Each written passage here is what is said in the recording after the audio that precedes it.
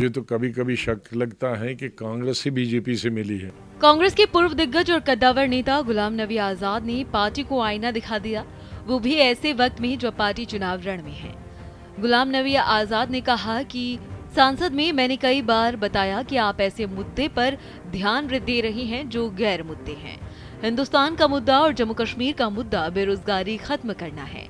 बिजली पैदा करना है।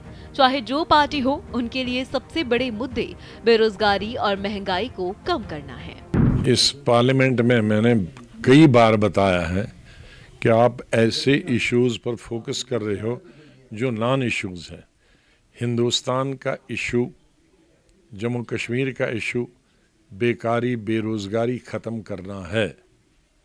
इंडस्ट्रलाइजेशन करना है। बिजली पैदा करना है। अगर इंडस्ट्रीज़ देनी है, उसके लिए बिजली हो। अगर जम्मू कश्मीर में कहेंगे, हमने इतनी इंडस्ट्रियाँ दी और इतनी लाई, लेकिन ये घराट थोड़ी है, पानी पर चलेगा। अब पानी भी नीचे पानी भी ख़त्म हो गया। उसके लिए बिजली चाहिए। इसलिए अगर वो, जो भी हुकूमत आए, चाहे ए पार्टी की हो या बी पार्टी हो, नेशनल, उसके लिए सबसे बड़े मुद्दे हैं बेकारी ख़त्म करना बेरोज़गारी ख़त्म करना महँगाई को कम करना। मैं ख़त्म तो नहीं कह सकता महँगाई को कम करना। ये सबसे बड़े मुद्दे कांग्रेस को नसीहत देते देते गुलाम नबी यही नहीं रुके। उन्होंने तो यहाँ तक कह दिया कि मुझे तो कभी कभी शक होता है कि कांग्रेस ही बीजेपी से मिली है।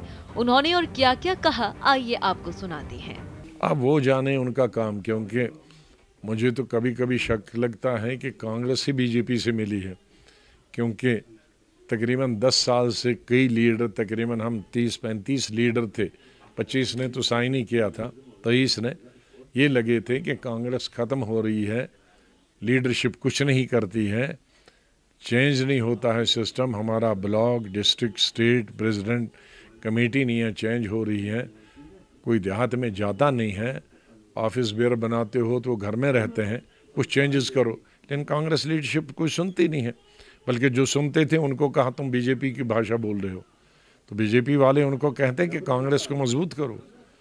तो उसका मुझे शक लगता है कि वो खुद चाहते हैं बीजेपी आ जाए। गुलाम नबी आज़ाद लंबे समय तक कांग्रेस पार्टी में रहे।